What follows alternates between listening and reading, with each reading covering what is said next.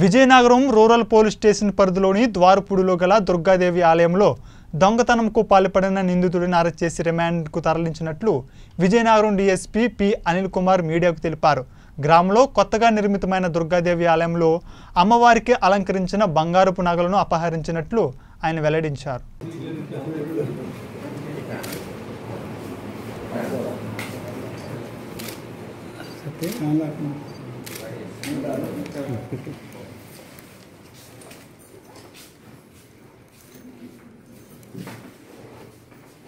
ಮೊದಲ కొంచెం ಹಾಕಿ ತುಂಬ ತುಂಬ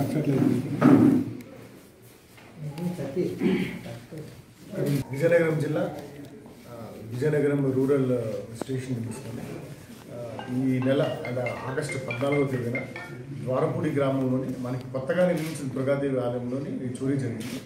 చోరీ జరిగిన దాంట్లోని ఒక తులం బంగారం అంటే ఒక అర తులం శాతమానాలు పావుతులం ముక్కు పుడక పావుతులం ఇయర్ రింగ్స్ అంటే అమ్మవారివి.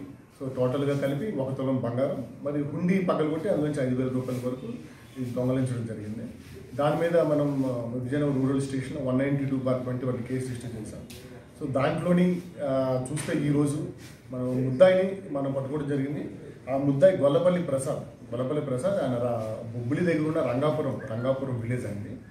ఈయన ఇంతకుముందు కూడా ఈయన మీద చాలా కేసెస్ ఉన్నాయి. దీనిలో ముప్పై వరకు కేసెస్ ఉన్నాయి. దొంగతనాలు దొంగతనాల కేసెస్. అందులో ఒక పది పదిహేను వరకు ఈ టెంపుల్ ఆలయ ఆలయాల్లో దొంగతనాలు మిగతా వైట్ టఫ్ట్ అంటే వెహికల్ టఫ్ట్ ఇలా చాలా రకాల దొంగతనాలు ఉన్నాయి. షీట్ కూడా ఉండడం జరిగింది. సో ఆ రోజు ఆ దొంగతనం జరిగిన తర్వాత అక్కడ మన క్లూస్ టీమ్ పంపించడం జరిగింది. క్లూస్ టీమ్ పంపించిన తర్వాత మనకి ఏదైతే అక్కడ ఫింగర్ ప్రింట్స్ ఉంటాయో ఆ ఫింగర్ ప్రింట్స్ తీసుకోవడం జరిగింది. దాంతోపాటు మన టెక్నికల్ డేటా టెక్నికల్ డేటా కోసం చూసాము. కానీ అక్కడ కొత్త టెంపుల్ అవ్వడంతో ఏమైందంటే అక్కడ సీసీ కెమెరాస్ కానీ ఆ ద్వారపుడి దగ్గర వేరే లిమిట్స్ అంటే అటుపక్క ఎండ్లోని ఒక టెంపుల్ ఉంది. పాత టెంపుల్ అక్కడ సీసీ కెమెరా ఉంది కానీ అందులో మనకి కావాల్సినంత సమాచారం మనకి రాలేదు మనకి. ఈ ఇది కూడా మీ మూమెంట్ కూడా ఏం పడలేదు సో దాంతో ఏమైందంటే మన ఫింగర్ ప్రింట్స్ మీద మనం ఆధారపడ్డాం. సో ఫింగర్ ప్రింట్స్ మీద ఆధారపడిన తర్వాత కొన్ని ఫింగర్ ప్రింట్స్ రావడం జరిగింది. మనకి అక్కడక్కడ కొంచెం బ్రోకెన్ ప్రింట్స్ వచ్చాయి. అయినా సరే ఎంతో కష్టంగా అవన్నీ దాన్ని లింక్ చేస్తూ దాని ఒక ప్రింట్ కింద రావడం జరిగింది. మన ఈ మధ్య ఏదైతే మనకి ఈ ఎంఎస్సిటీ డివైస్ ఈ ఫింగర్ ప్రింట్ డివైస్ యూజ్ చేస్తున్నాం లైవ్ స్కానర్స్ యూజ్ చేస్తున్నాము. సో వాటిలోని మనం అది కంపేర్ చేసి చూస్తే ఇలాగ పలానా దొంగ ఉన్నట్టు తెలిసింది. ఈ దొంగ ఈ నాచుకి మొత్తం అంతా ఒక టీం పెట్టి మొత్తం ఆయన ఎక్కడున్నాడు సర్వేలెన్స్ పెట్టడం జరిగింది. ఇంటికి వెళ్తే ఇంటి ఇంటి దగ్గర కూడా లేడు. కానీ టెక్నికల్ డేటా పెట్టి ఆయన మన టీం పెట్టి ఎస్ఐ నారాయణ ఆధ్వర్యంలో ఒక టీం పెట్టడం జరిగింది.